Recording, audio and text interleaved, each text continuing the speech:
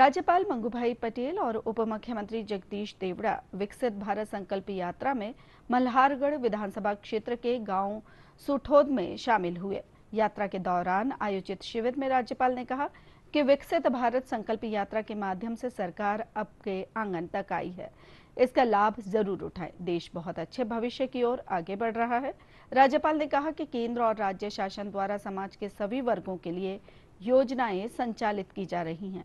पहले योजनाओं का लाभ लेने के लिए नागरिकों को कार्यालयों तक जाना पड़ता था, लेकिन अब संकल्प भारत यात्रा के माध्यम से अधिकारी स्वयं नागरिकों के पास पहुंचकर उनका आवेदन प्राप्त कर रहे हैं। वहीं उप मुख्यमंत्री जगदीश देवड़ा ने कहा कि प्रदेश में 16 दिसंबर से विकसित भारत संकल्प यात्रा जारी है।